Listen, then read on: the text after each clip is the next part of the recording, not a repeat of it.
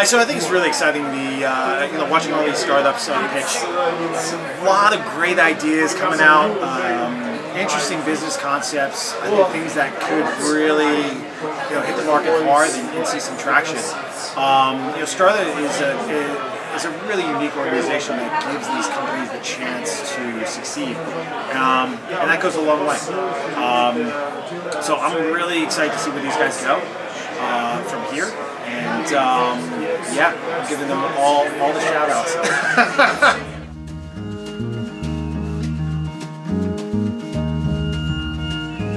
outs.